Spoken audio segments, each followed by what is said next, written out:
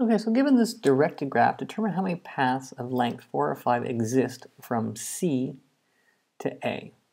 And so the first thing we need to do is we need to make our adjacency matrix. And so I go through and recognize it's directed, so I'm going to go A does not go to A, it goes to B, it does not go to C, it does not go to D. B does goes to A, does not go to itself because there's no loop here. It does go to C, but it does not go to D. C does not, does not, does not, it only goes to D. And finally, D goes to A and to B, but that is it. So 1, 1, 0, 0.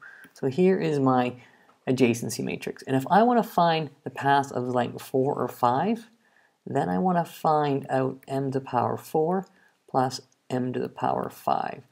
This will give me how many paths it will be from any two vertices of length 4, and this is of length 5. So if I go to my calculator, I've already taken the liberty to throw it into my matrix A is already set to be m here. So I want this to the power of 4 oh, plus again to the power of 5. And so I can pull this down here. And so it wants to know how many go from A, C to A. So this is C, this is A going in this way and out.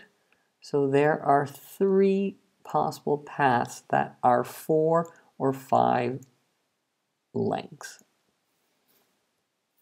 Or, and I should be more specific by saying uh, these are probably going to be walks as opposed to paths. This should say walks because it will repeat vertices at time.